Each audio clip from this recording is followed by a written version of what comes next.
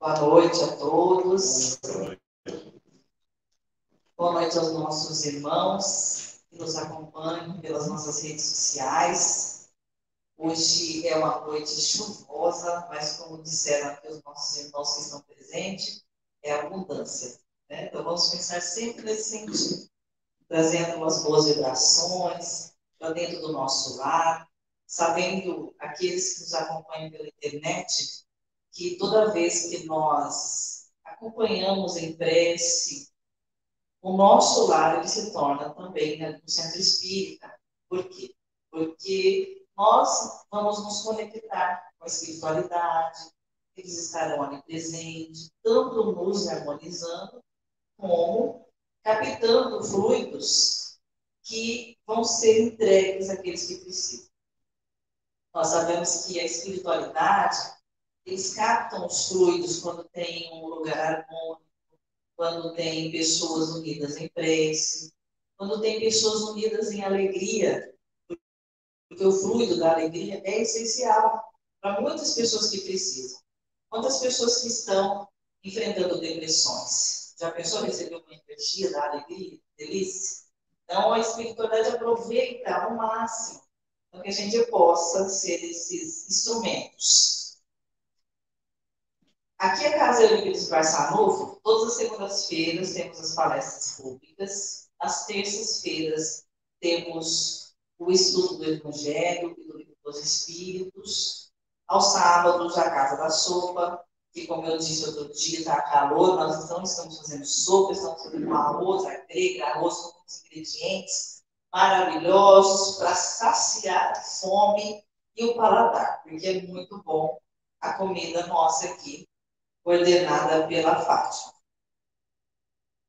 Nós também somos acompanhados é, na nossa rede social. Existem mil pessoas que nos acompanham pela rede social, na nossa página, e também mais mil pessoas que nos acompanham nos grupos do WhatsApp, que é o nosso centro família espiritual, agora Euripides Barçanus. Para isso, a gente agradece muito as nossas administradoras fora de Bauru, que trabalham incansadamente todos os dias para manter a nossa página com estudos diários de todas as obras básicas. Estudo do Evangelho, da Gênese, enfim. Temos também nas quintas-feiras o momento perguntas e respostas, que é aquele horário onde as dúvidas que vêm das pessoas são respondidas. Então, é um momento muito interessante. Antes que eu apresente a nossa palestrante nesta noite, eu gostaria de fazer uma prece para que a gente se conecte à espiritualidade e possa, então, harmonizar esse ambiente tão gostoso. Querido amigo Jesus, Deus de infinita bondade, estamos reunidos, Senhor, aqui na Casa Olímpica, Marçalu, em São Paulo, sobre a tua inspiração, buscando Jesus o conhecimento, que através desse conhecimento possamos nos libertar.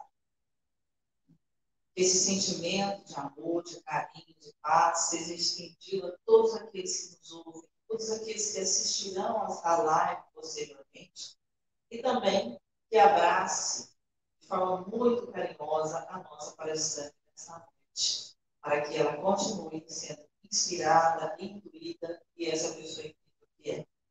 Obrigada, Jesus, por mais essa oportunidade de estarmos reunidos em teu nome. Que assim seja.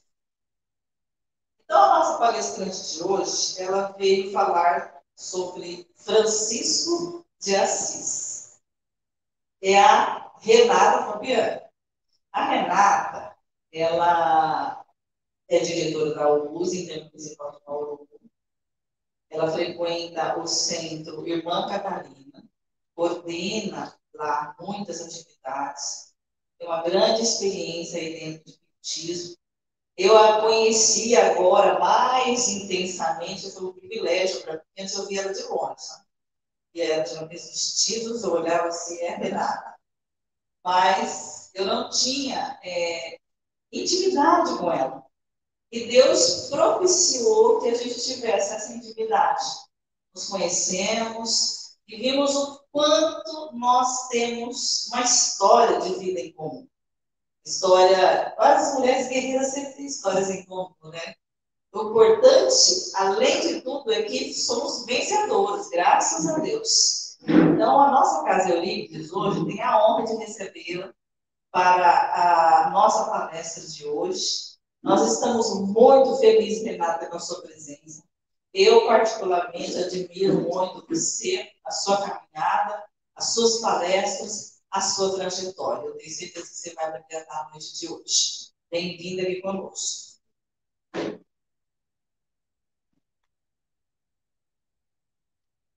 Boa noite a todos. Eu já estive aqui, não sei se alguém esteve aqui quando eu estive. Esteve? Estiver? Não? Todo mundo novo. Maria está tá renovando. Hoje eu vou fazer uma palestra.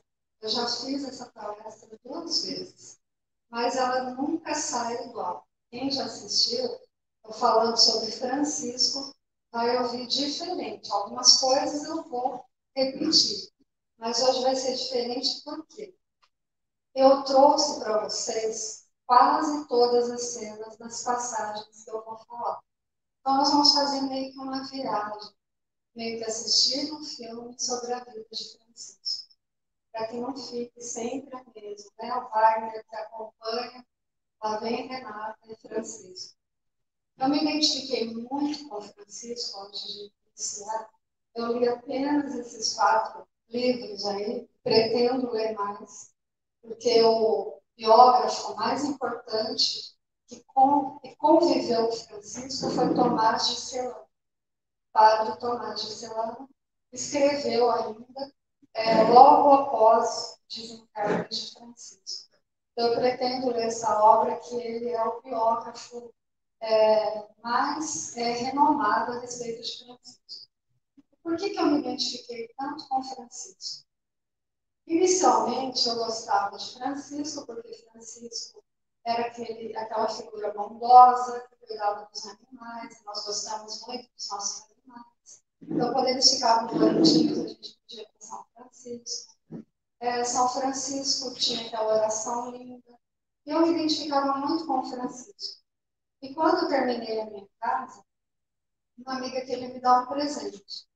E mesmo eu sendo espírita, eu disse, eu quero uma imagem de São Francisco para ficar na entrada da minha então, foi bem antes do Deluca lançar simplesmente Francisco, eu já era apaixonada por Francisco.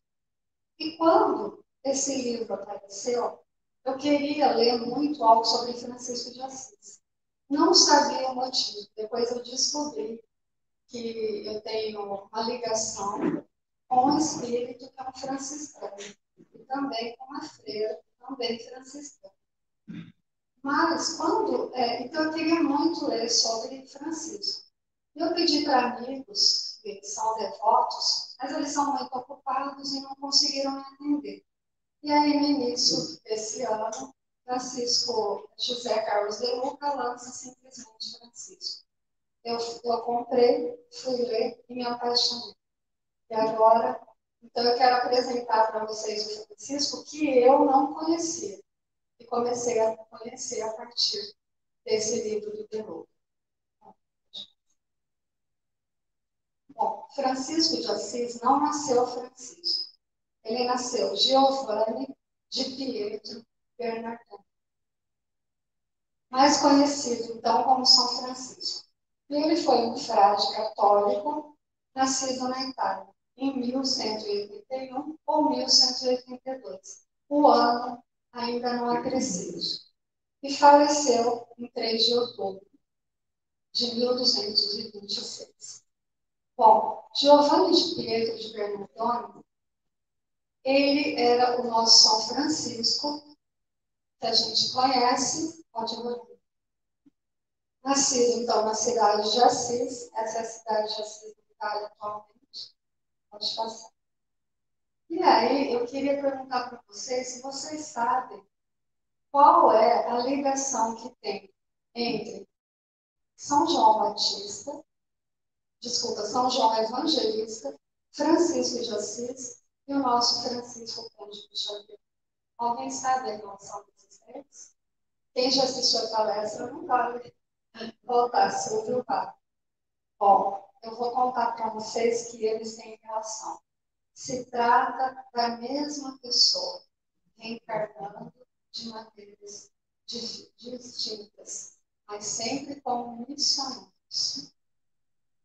Bom, então, o nascimento de Francisco já se dava de maneira diferente. Pode passar. Francisco, para quem não sabe ou não sabia, nasceu no estado. Ele morava numa ampla casa de Assis e a mãe dele, a senhora Bernardone, ela entrava em trabalho de parto, mas a criança não nascia. Quando estranhamente bateu na porta um peregrino, e aí uma das, das funcionárias né, da casa, da senhora Bernardone, foi atender a porta e se Deus se deparou então com esse peregrino com as mãos postas. E ele disse assim: Leve a senhora para ter a criança no estábulo. A criança só vai nascer no estábulo. Olha isso. Vocês sabiam disso? São Francisco nasceu no estábulo. Quem será que nasceu no estábulo? Então, aquela lição do estábulo, um dia, eclodiu fortemente na juventude de o nascimento na manjedoura é um dos mais sublimes ensinamentos espirituais que a humanidade já recebeu. Então, o nosso espírito excelso, né, do nosso Cristo, ele se tornou criança num estado despido de todo orgulho e vestido de toda simplicidade. Depois de uma juventude inquieta mundana, Francisco voltou-se para uma vida religiosa completa de pobreza, fundando a ordem mendicante dos frades menores. Olha isso. Ordem mendicante dos frades menores. Mais conhecido como franciscanos, como nós conhecemos. E ele renovou o catolicismo do seu tempo. Então, com o hábito de pregação itinerante, quando, quando os religiosos do seu tempo costumavam se fixar em mosteiros, em igrejas né, cultuosas, Francisco não. Com sua crença no Evangelho, é, que deveria ser seguida à risca, ele imitava a vida de Jesus. Ele desenvolveu uma profunda identificação com os problemas dos seus semelhantes e com a humanidade do próprio Cristo. A sua atitude foi original também quando ele afirmou que a bondade e a maravilha da criação, num tempo em que o mundo era visto como essencialmente mal, a época que Francisco veio ao mundo, né, São João é, evangelista retornou na pele de Francisco, a humanidade estava passando por um período muito difícil. Nós estávamos passando novamente pela Inquisição Espanhola, novamente pelas cruzadas. Nós vamos ver lá na frente. Então, Francisco, ele era filho de um comerciante, é, Pedro de Bernardone. É, na sua juventude, Francisco era conhecido como playboy da Hungria. Ele gostava muito de patrocinar as festas, porque tinha muito dinheiro é, o pai dele era um burguês, comerciante de tecidos finos. Ele era já naquela época, ele importava tecidos da França. Daí o nome Francisco, que significa francesinho em francês. Então, Francisco nasceu de Giovanni porque o pai dele estava viajando para a França. Mas quando o pai chegou e a criança já havia nascido, ele, então, eles foram batizar a criança e ele modificou o nome de Giovanni que é, é João, né, em português, a tradução de Giovanni é João. Olha como a mãe dele tinha sido intuída a colocar o nome de João, porque ela estava com João Evangelista no colo. Mas o pai, pensando né, no, no grande comércio que ele tinha com a França, mudou para Francisco, que é francesinho, significa. Bem, esse é o pai o nosso Francisco, que sonhava para ele que ele fosse um cavaleiro. Porque naquela época, você ser um burguês você era rico, mas não tinha títulos. E se você tivesse um filho cavaleiro, você poderia ter um título de nobre. Então, era muito importante para o pai de Francisco que ele fosse para a guerra e que trouxesse, então, o título de cavaleiro. O pai dele, biológico, sonhava para ele que fosse cavaleiro. Mas o pai, está no céu, tinha um sonho muito maior mas Francisco, então, esse jovem, que era indisciplinado, extravagante, é, gostava das aventuras, de roupas da moda, bebida, ele ficava feliz, mas percebia que aquela felicidade não era duradoura. Então, pelo desejo do pai, pela possibilidade do título de nobreza, por ele ser fascinado pelas histórias de cavalaria, ele então vai lutar, se alista e vai lutar como soldado, é, porque Assis e Perúdia, eles estavam em conflito. Então ele foi lutar com os soldados de Perúdia, foi capturado, preso, permaneceu preso durante um ano e só foi liberado quando a família pagou o resgate. Ao ser liberado, ele ficou doente e passou quase todo o ano de 1204 acamado. E ali se apresentaram duas doenças que vão caminhar com Francisco até o final da sua morte. Ele teve problemas de visão e também adquiriu uma malária. Depois que Francisco se recuperou, ele está voltando, então, é, para a cidade de Assis, quando o pai dele pagou o resgate. É, depois de recuperado, ele tentou novamente, novamente a carreira de cavaleiro. Por quê? Ele se engajou em 1205 no exército papal que lutava com Frederico II, incentivado por um sonho que ele tivera. Francisco, no sonho, ele ouvia que alguém chamava pelo seu nome e levava ele para um rico palácio, onde vivia uma linda donzela que estava cheia de armas resplandecentes e outros apetrechos de guerra. Indagado de quem eram essas armas esplêndidas e aquele palácio magnífico, foi-lhe respondido que tudo aquilo era seu e de seus soldados. Animado com as perspectivas de glória, ele pôs-se a caminho. Mas no trajeto ele teve outro sonho e uma visão onde ouviu uma voz de Isso aí é Francisco sonhando. Pode, pode. Nesse sonho, ele ouviu a voz que dizia assim: Quem você deve seguir, Francisco? O Senhor ou o servo? Francisco respondeu: O Senhor. Então, por que você deixa o Senhor pelo céu? Confundido, Francisco disse: Que queres que eu faça? E a voz replicou: Volta para a tua terra, te será dito o que haverás de fazer, pois deve entender de outro modo a visão que tivesses.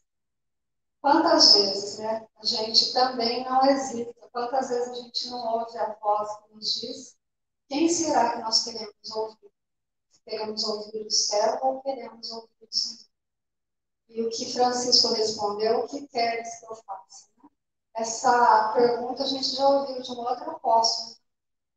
O apóstolo Paulo pergunta ao Senhor, quando aparece no deserto, o que queres que eu faça? Bom, Francisco passou por um período de hesitação. Quantos períodos de hesitação nós não passamos? Ele ficou, ele tinha rombos de devoção e ao mesmo tempo ele queria voltar àquela vida boa de playboy que ele tinha.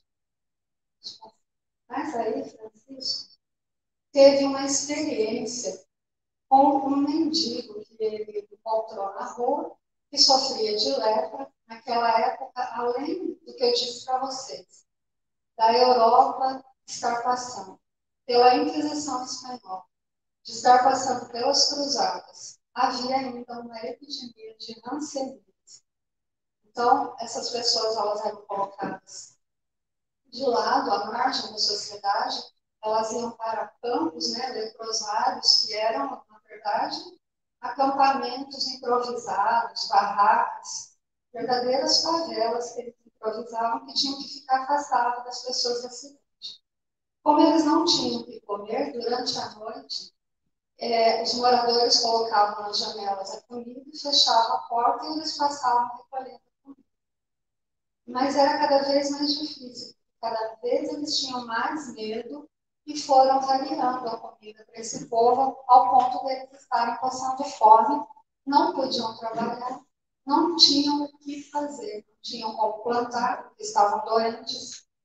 E Francisco, a partir dessa experiência com esse, esse ranceniano, ele começou a ser tocado.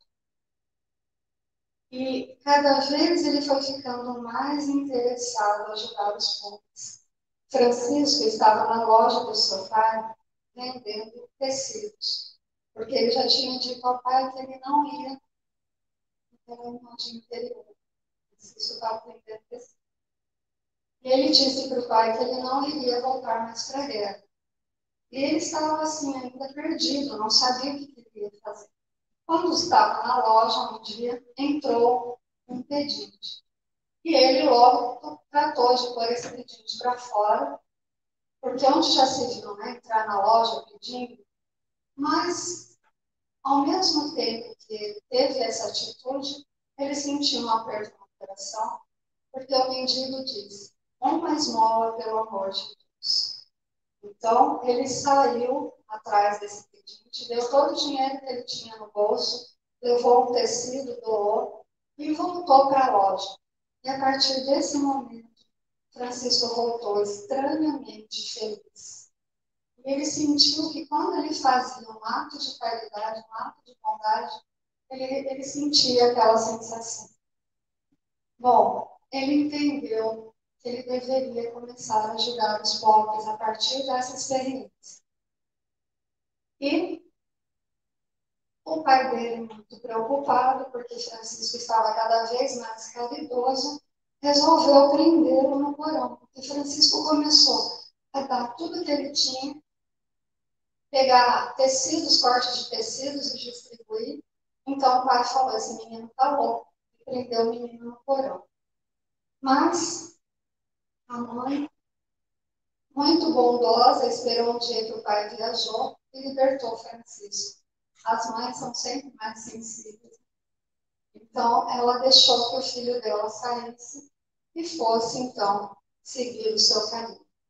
Mas Francisco entendeu, naquele período que ele ficou aprisionado, qual era a missão dele.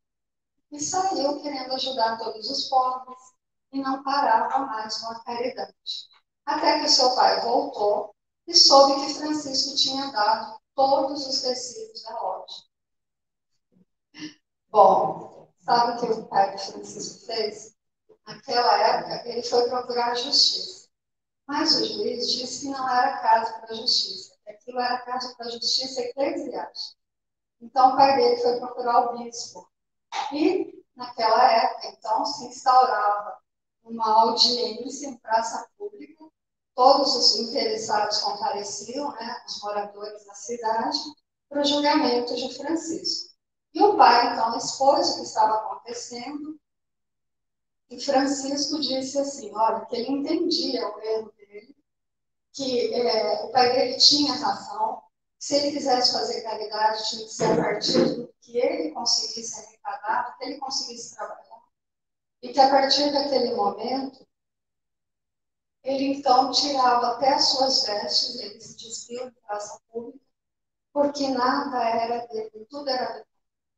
Então, a partir daquele momento, Francisco se despiu diante de toda a sociedade de Assis e começou a sua peregrinação, pedindo nas ruas para poder comer e para poder ajudar as outras pessoas.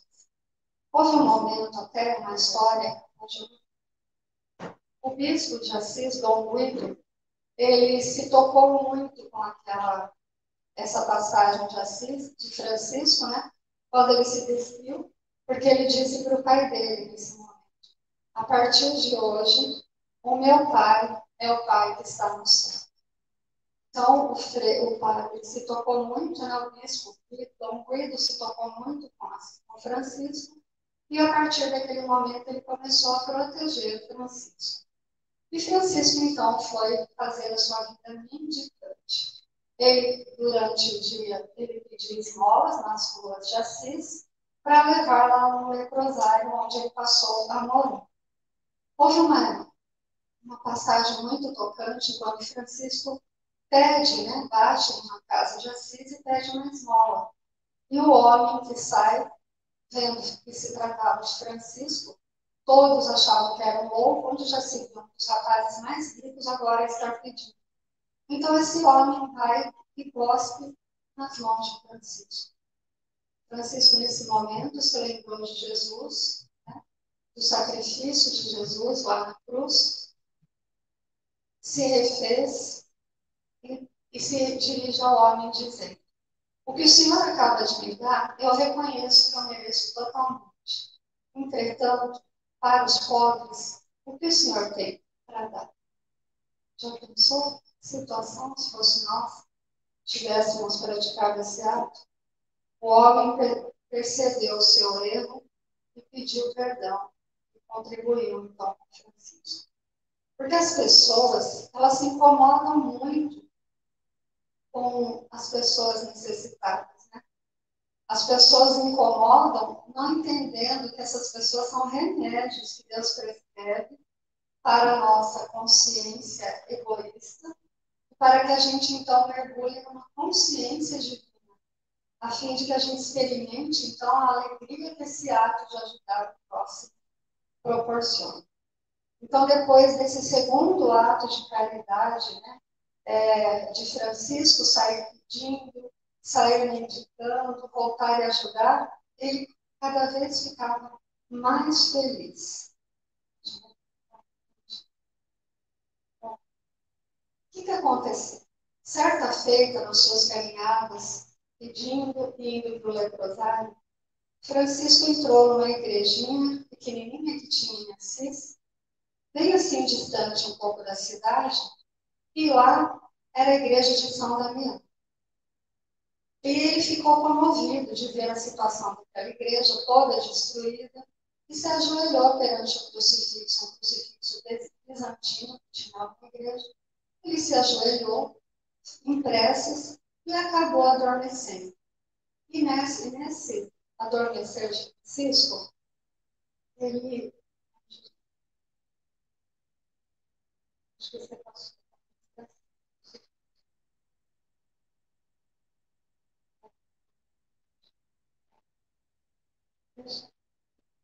Bom, Francisco, o que, que aconteceu? É, ele, nessa igreja, ele adormeceu e aí ele teve um sonho. E nesse sonho, ele viu Jesus que estava no crucifixo sair e falar com ele, para que ele reconstruísse a sua igreja. Francisco acreditou que a reconstrução era uma reconstrução física, a igreja estava em ruínas. Então, imediatamente, voltou novamente é, a pedir, dessa vez, pedir donativos e ajudas para construir, reconstruir a igreja. E assim o fez. Começou a trabalhar como um pedreiro e os amigos ficaram indignados. Falavam, Francisco enlouqueceu. Agora, além de pedir, ele ainda trabalha duramente como pedreiro. E foram ter com Francisco, os amigos. E os amigos questionaram ele, Francisco, mas a gente pode ajudar de uma outra maneira. Você está ficando louco. E nesse momento, há uma passagem lindíssima, que eu nunca me esqueci de Francisco. Acho que foi aí que eu comecei a gostar. É, há 22 anos atrás, eu ouvi que nesse momento Francisco disse: Houve um tempo em que eu acreditava em palavras. Então, os amigos entenderam aquelas promessas nós vamos fazer eram só promessas. Então, resolveram arregaçar as mangas e trabalhar junto com Francisco. E eles se empolgaram, então, com os ideais de Francisco e perguntaram como que eles faziam para seguir essa vida de pobreza, viver essa, dessa maneira. E Francisco, então, disse para eles, vamos abrir o Evangelho. E aí, nessa abertura do Evangelho, ele abriu em Mateus, que em linhas gerais orientavam a vocação de cada um. Ide, disse o Senhor, e proclamar, proclamar em todas as partes que o reino do céu está dentro. Vós recebestes gratuitamente, dai sem receber pagamento. Não leve ouro, nem prata, nem cobre, nem cintos, nem alforje, nem uma segunda túnica, nem sandálias, nem cajado, pois o trabalhador merece ser sustentado. Em qualquer vila que entrarmos, nós vamos procurar pessoa digna e nos hospedaremos com ela. E quando nós entrarmos numa casa, devemos saudar. E se a casa for digna, nós devemos deixar nela a nossa paz. Pois, se não for digna, nós tornemos para ela a nossa paz. Então, o que, que aconteceu? Cada vez mais aumentava o número de discípulos de Francisco, né, os seguidores de Francisco de Assis. E os jovens da cidade de Assis foram reclamar lá para o bispo, né, o Conguido, que estava cada vez mais aumentando o número de vagabundos. Olha como eles diziam, mendigos pelas ruas. E aí o Frei disse assim: O que vocês estão me falando me lembra uma história que eu já li várias vezes. Chama-se Evangelho. Existe em quatro versões. Vocês se lembraram dessa reclamação? Quando os homens da lei vão reclamar de Jesus e seus discípulos? Né? Então, eles perceberam que não tinha jeito, tinha que aguentar aquele povo lá em Assis. Mas o bispo chamou o Francisco, contou o que estava se passando e disse o seguinte: Francisco, você incomoda os ricos? Ah. Francisco, você incomoda os ricos porque os faz sentir culpados e os pobres porque desprezam o que eles desejam. É estranho, né? Não agradava nenhum nem outro. Né? Aqueles que não entendiam qual era realmente o intuito de Francisco. E aí o Frei aconselhou, o bispo aconselhou Francisco também para evitar maiores problemas que fosse pedir a aprovação do Papa. Foi o que Francisco fez em 1209, eles foram para Roma, a fim de obter a autorização do Papa para a sua fundação da Ordem dos Três Irmãos. E lá, é lógico que eles tiveram um problema, porque a regra deles prescrevia uma pobreza absoluta para os monges e para ordem, e imitação literal da vida de Jesus e de seus apóstolos, conforme narra nos evangelhos, e que não possuía e que não pudessem possuir nada pessoalmente e nem em comum. Bom, lá chegando, eles se depararam né, e foram ridicularizados pelos arcebispos, pelos cardeais que rodeavam a corte de Inocêncio III. Que mandou, não vão aborrecer o Papa, não, vocês são sujos, mendigos, o lugar de vocês é um chiqueiro de porcos. Então, os quatro freis que acompanham o Francisco disseram, e agora, o que nós vamos fazer? Se a gente voltar para Assis e contar que nós fomos expulsos pelo Papa, aí que a gente está perdido mesmo. Mas o que, que a gente deve fazer, Francisco? Francisco ele tinha uma característica, era muito alegre, ele não perdia a, a, a, alegria, a felicidade, a esperança. E ele sorrindo disse: Vamos cumprir a ordem. Os cardeais mandaram a gente ir para o chiqueiro, vamos para o chiqueiro. E tinha um chiqueiro muito próximo ali, de onde ficava o Papa, e eles foram ali ficar. Francisco então cumpriu fielmente a ordem dada e foi para esse chiqueiro próximo. Nesse ínterim, né, o Papa teve um sonho Enquanto eles ficaram lá no chiqueiro, o Papa foi dormir e teve um sonho. E ele viu nesse sonho a Basílica de São João de Latrão, prestes a desabar, apenas sustentada por um pobre religioso que ele interpretou sendo Francisco. Olha como a espiritualidade age, né? Francisco lá aguardando, e o Papa então teve um sonho, e nesse sonho ele repensou a sua ordem. Então ele mandou chamar Francisco e seus é, companheiros e resolveu abençoar, então, a ordem. Mas o Papa disse o seguinte: é uma, é uma forma de vida muito dura a que você pretende. Os hereges também a pregaram. Os hereges eram todos aqueles que não concordavam com os dogmas da Igreja Católica, então eles diziam que eram pecadores, né? uma doutrina pecaminosa. E tudo que eles pregavam era errado. E eles achavam que a ordem de Francisco também podia ser igual. Porém, o Papa percebeu que eles não eram guiados por orgulho. E disse a ele: Eu vejo em você o desejo de seguir. Mas logo você perceberá que tem um fardo pesado demais para carregar. Bom, Francisco estava sempre com seus amigos, o irmão Léo, seu futuro confessor, o amigo inseparável, irmão Fino, que sempre pregava, pregava lenta, e até dormindo esse irmão pregava. Olha que interessante. E o irmão Junípero, irmão Maceu, e o, e o fiel irmão Iluminato. Esse Iluminato, onde Francisco ia, ele ia junto. Parecia o Dom Quixote e o Sancho Panza. Bom, Aí é o Dom Guido, então, dando conselhos para Francisco. Francisco retorna dizendo que o Papa havia abençoado a, a sua ordem e havia autorizado. Mais um detalhe: essa autorização foi apenas de boca. O padre não quis se comprometer, não deu nenhuma autorização por escrito. Bom, Francisco continuou a sua caminhada, tudo que ele fazia era a pé com os pés descalços, o apóstolo de pés descalços. E então Francisco, é, na sua peregrinação, chegou até a cidade de Guido. E lá, os moradores estavam aterrorizados, porque havia um lobo que estava devorando é, os animais, inclusive já havia também matado algumas pessoas era um lobo furioso. E Francisco, então, se dispôs a ir na floresta atrás desse lobo.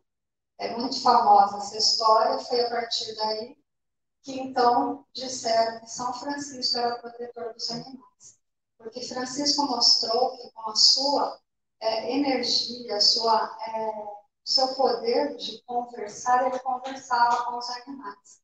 Então, Telepaticamente, ele disse para o lobo que eu entendia e que sabia que ele estava atacando na cidade porque ele estava sem comida, haviam acabado com a comida. Então, o lobo atacava para comer. Mas que se ele aceitasse, os moradores deixariam todas as noites comida para o lobo. E o lobo aceitou, ele conseguiu carinhar o lobo, e a partir daquele momento, o lobo começou a ir à cidade, cada vez ficar mais próximo dos habitantes, a ponto de se tornar amigo de todos. Então, foi daí que vem São Francisco, protetor dos. E aí, o iluminato, olhando, assistindo à distância, não acreditando no que estava. Bom, essa foto é uma imagem de Francisco quando ele esteve, então, é, em terras dos sarracenos que estavam brigando com a Igreja Católica pela terra do Santo Sepulcro. E aí Francisco foi lá conversar, explicar que essa cruzada não fazia sentido, porque a Igreja Católica ela estava perdendo tantos soldados que ela estava mandando crianças para a guerra, para lutar com os sarracenos. Então, Francisco foi lá, teve entrevista com o sultão Camil, que ficou impressionado. Esse sultão ele tinha uma fama. Todo mundo que ia lá, ele mandava decapitar. Então, eles deixaram que Francisco fosse, mas sabia que ia receber depois a cabeça de Francisco de iluminar. Medo engano, porque Francisco voltou. Esse sultão pediu até que Francisco orasse para Deus, para que mostrasse uma forma é, de resolver aquele conflito de uma maneira mais tênue, né? Mas só que não houve trégua, trégua porque o lado de Francisco não cedeu, né? A Igreja Católica não cedeu.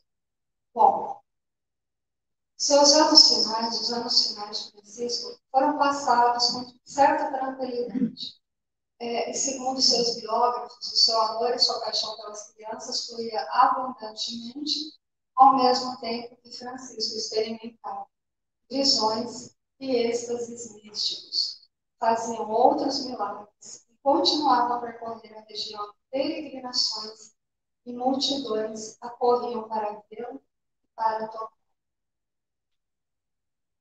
A imagem ficou meio ruim, mas se trata do primeiro presépio que foi realizado no Natal de 1223. Quem inventou o presépio foi Francisco. Eu também não sabia disso. Ele foi convidado por um senhor chamado Grégio para celebrar a festa numa gruta com pastores e animais. E aí ele desejou, então, recriar o nascimento de Cristo segundo a origem de tradição dos presépios. Quando ele terminou de criar a cena do presépio, faltava o menino Jesus. Então os três que o acompanhavam perguntaram onde vai estar? Falta o menino Jesus, o principal. E Francisco olha para o céu e diz: o menino Jesus já chegou. Nesse momento, o menino, o menino Jesus estava sendo materializado nos braços, nos braços de Clara. Clara, ela queria seguir Francisco. Não há como falar de Francisco sem lembrar de Clara. Ela queria pertencer à ordem dos três, mas eles não podiam aceitar mulheres. Então, ela fundou a Ordem das Clarissas, que também é uma ordem de de freiras de pés descalços. E Francisco, então, deixou a igreja de São Damião, que estava formada, para que elas ocupassem.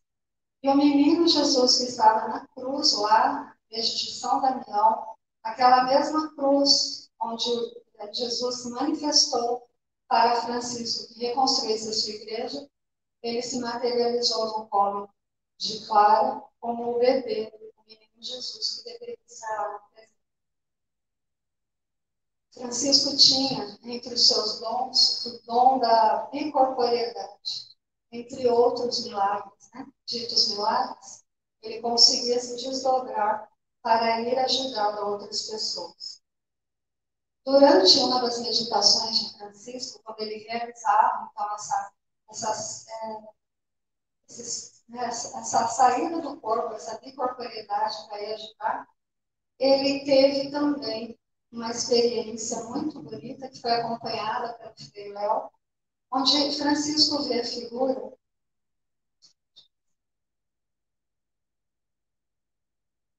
não sei, eu uma. Pode, Bom, mas embora não tenha imagem, o que aconteceu foi, lá naquele monte, Francisco estava orando, ele, ele viu descer do céu um anjo com seis asas, semelhante a um serafim, pregado numa cruz, e à medida que ele contemplava aquela figura, é, dava uma imensa felicidade nele e também uma imensa tristeza, porque ele, ele viu abrir no seu, no seu corpo as chagas de Jesus imitando então aqueles estigmas né, do prego, ele sentiu o coração transpassado pela lança e foi então o primeiro cristão a ser estigmatizado. É, mas enquanto isso tudo acontecia, causava muita dor, né? E Francisco evitou que os seus irmãos. Então ele enfaixou as mãos, os pés, mas a partir desse momento ele não conseguia mais caminhar porque causava muitas dores, muitas dificuldades aqueles, aquelas feridas no seu pé. Então ele teve que se utilizar de uma mula, o que para ele não era permitido, era um luxo, né? Utilizar um animal. Mas ele pediu então, desculpas ao animal e pediu para que ajudasse, porque ele já estava nessa época padecendo de enfermidades terríveis, dores de cabeça, também tinha né, as feridas da cruz, que da coroa de espinhos que foi colocada. Então ele pediu para que ele ficou cego, tinha dores fortíssimas de cabeça, e pediu, já percebendo a sua morte, que levassem ele a Porciúncula, era uma igreja pequenininha, da qual ele frequentava, pediu para que levasse ele também para que pudesse despedir de Clara. E então, é, em um dia, um pôr de sol, 3 de outubro de 1226, ele deu instruções de como deveria ser sepultado. É, ele foi sepultado nu, na terra, diretamente na terra, esse era o seu, era o seu pedido. Faleceu rodeado dos seus companheiros, sem ele se despedindo de Clara. E fontes antigas disse que nesse momento do sepultamento, um bando de aves pousou, então, naquele local do sepultamento e entoava cantos, né? os passarinhos cantando, ali como se cantasse glórias àquele espírito que retornava pátria espiritual. É, logo em seguida, um dos irmãos, o irmão Elias, notificou todos o falecimento de Francisco, que tinha apenas 44 anos, divulgou a sua estigmatização, que ele escondia das pessoas, porque ele não queria ser tratado como um santo. E foi enterrado, então, na igreja de São Jorge, né? É, enterrado ali na terra, próximo da igreja. Bom, essa foi a trajetória de Francisco. Essa igreja ali é a Porciúncula. Olha o tamanho da igreja. Hoje ela é, ela ela está dentro de uma grande basílica que construíram em cima sem destruir a igreja de São Francisco. Só São Francisco, ele morreu em 1228. Não, é, ele foi sepultado em 1226 e em 1228, dois anos depois da sua morte, ele foi proclamado santo pelo Papa Gregório IX. E acabamos, então, a, a, a demonstração dessas passagens importantes. Bom, o que eu teria para dizer para vocês de Francisco? Por que, que ele me toca tanto? Porque ele não nasceu santo. Embora ele fosse um missionário, né, nós sabemos então que Francisco de Assis foi geólogo evangelista. Como todo missionário, quem estuda a doutrina espírita sabe, embora possamos ser missionários, nós podemos nos perder no meio do caminho. Porque a gente vem aqui com o véu do esquecimento, né? E aí a gente chega aqui e acaba se iludindo com os prazeres, com a porta larga da perdição. E São João Evangelista pediu uma prova muito dura, que é nascer de uma família muito rica. Quando eu falo isso, as pessoas ficam meio bravas. Nossa, uma prova muito dura. Nascer de uma família muito rica. Mas, gente, de verdade, é uma prova muito dura. Porque você, para se perder, é muito fácil. Primeiro, se a sua família tem muito dinheiro, você fica meio que desestimulado de estudar, de se esforçar, de trabalhar. Hoje mesmo, meu marido estava falando de alguém que tem muitas posses, é jovem, como a minha filha. E, então, quando chega aniversário, ela é presenteada com carro, e altas viagens e outras coisas. E aí ele disse assim: coitado da nossa filha, né? nós não podemos dar nada. E eu disse para ele: nós podemos dar o melhor, que foi a educação que ela tem, e assim nós podemos proporcionar que ela estudasse. E hoje ela é uma pessoa de bem. Se a gente for embora, nós vamos tranquilos, porque ela sabe se virar, tanto ela quanto o menino. Então nós demos o melhor, porque dar dinheiro, gente, não é o melhor. Vou dizer para vocês que é o pior. Porque se você pode dinheiro, mas você tem que ensinar o seu filho a ganhar o dinheiro. Porque depois, se você for embora, tudo que você deixar vai embora. Junto também. Não vai saber administrar o que tem. Então, Francisco passou pela prova da riqueza. Quase se perdeu. Mas todos nós, porque todos nós também somos missionários, Lógico que talvez não com uma missão tão grandiosa como a de Francisco, porque Francisco reformulou a igreja, reestruturou. Se ele fosse cavaleiro, como o pai dele queria, seriam nobres. Mas quem é que conhece algum nobre de Assis? Ele nasceu em 1200, 1182 e até hoje, em 2021, nós estamos falando de Francisco. Quem fala de algum nobre lá de Assis, quem sabe, passou fronteiras. Então, é, o sonho do pai dele era pequeno, mas o sonho do pai maior era muito grande. E, os caminhos que ele estava pegando, estavam desviando, foram novamente reconduzidos. E quantos de nós não temos os nossos caminhos reconduzidos? E não é fácil ser reconduzido ao trilho. Dói muito, machuca, a gente pensa que vai morrer.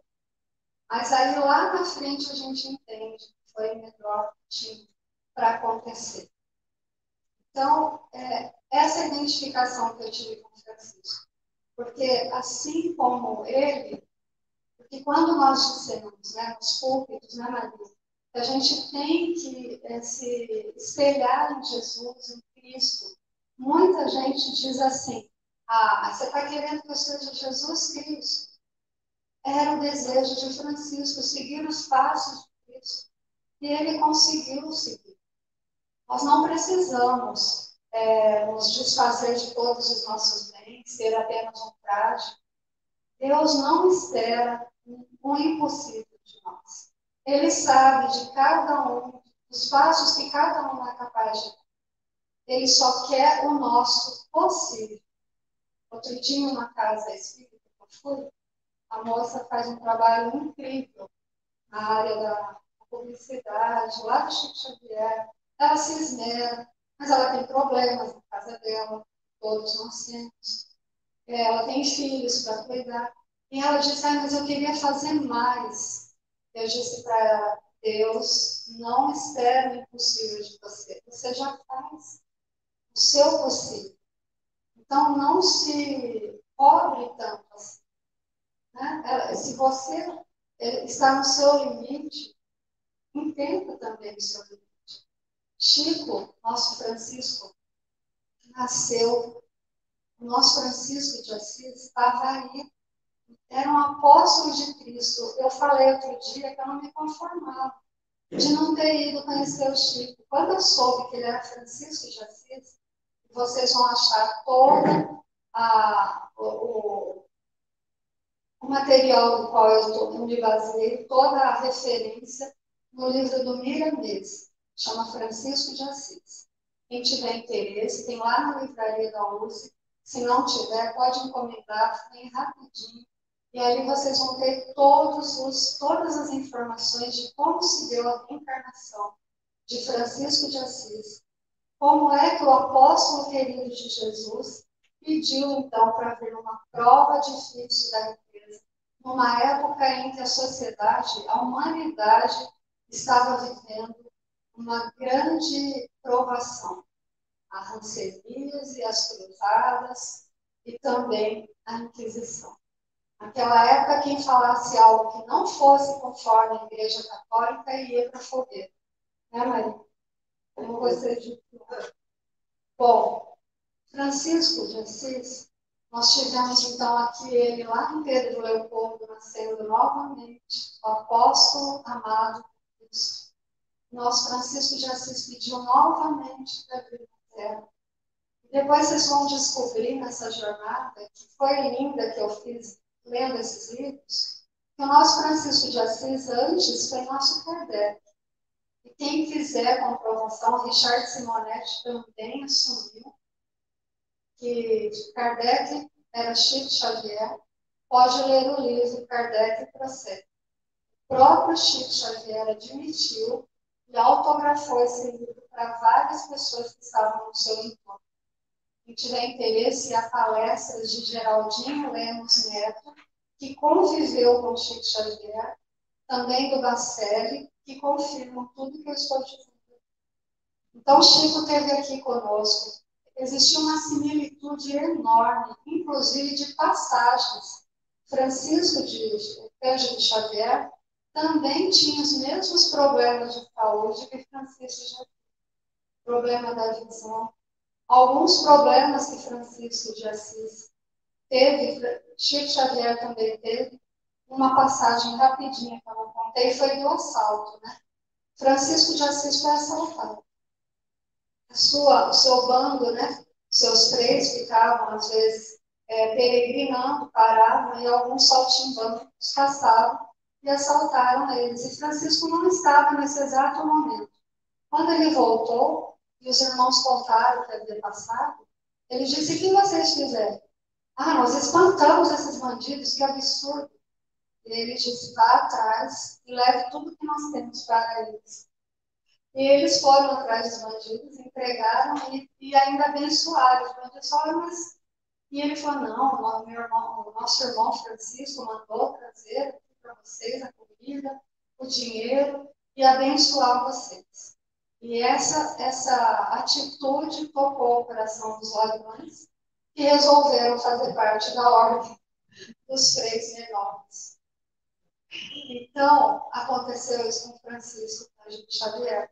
Lá em Uberaba, ele costumava levar as pessoas que saíam tarde do centro, levar até a hospedaria onde eles estavam, né? E, retornou sozinho para a casa dele. Mas ele era muito simples, seu terno também era bem surrado. E dois bandidos vendo aquele homem sozinho no meio da madrugada, porque Chico não tinha hora para terminar o seu trabalho mediúnico, ele tinha hora para começar, não tinha hora para terminar. E aí Chico, eles vendo aquele Chico na rua ali, foram resolveram assaltar. E quando pediram para o Chico tudo que ele tinha, ele disse, ah, mas eu não tenho nada, tem umas moedinhas aqui. E aí o, dois bandidos, um disse para o outro, eu não falei que não valia a pena assaltar isso daí? Olha isso aí, parece um mendigo. Né? Mendigo a palavra de que Francisco era sempre qualificado. Né? E aí ele falou assim, mas o senhor não tem dinheiro? Que, como que pode uma coisa dessa? Ele falou assim, não, eu não tenho não, senhor, porque eu tenho muitas crianças para alimentar. Mas o senhor é casado? Não sou não, senhor. E aí, e que crianças são essas? O senhor está querendo me enganar? Não, são crianças que eu sustento, sobrinhos, é, crianças carentes. E aí um dos ladrões disse para o outro, passa aí os 200 cruzeiros que você tem. Você não vai fazer o que eu estou pensando. Vai dar logo o dinheiro aí. Pegou e entregou para o Chico. E o Chico falou, muito obrigado, meu irmão, que Deus abençoe vocês. E aí aquele ladrão bravo falou assim, o senhor acha que Deus vai nos abençoar? Nós somos ladrões. O Chico respondeu, mas Jesus foi embora do lado de Deus. Então, é, é incrível, mas tem tantas passagens similares de um com o outro. A bondade, a caridade. Chico é conhecido como o apóstolo dos pés de falsos também. Então, eu, eu gostaria de ter passado, que a minha expectativa é que eu tenha passado a vontade de vocês de ler esse livro. É um livro que a gente tem que deixar na cabeceira. Esse aqui não é um livro que a gente lê e repassa como a gente orienta os livros